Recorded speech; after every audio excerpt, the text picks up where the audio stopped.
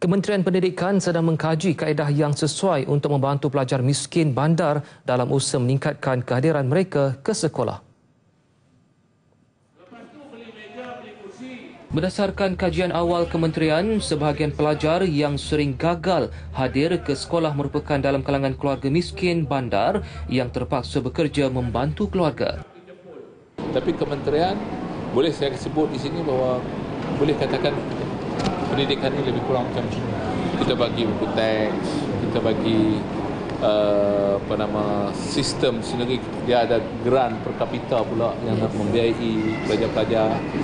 Jadi tapi uh, saya akui kita ada masalah juga di di di bandar. Di bandar ini bila pelajar-pelajar ataupun family yang miskin bandar ni uh, miskin bandar. Yang itu pun sebenarnya uh, menjadi menjadi target kita juga lah, menjadi tumpuan kita. Macam mana kita nak nak membantu. Bentuk bantuan khusus kepada keluarga yang menghadapi masalah akan dikenal pasti selepas kajian mengenainya selesai.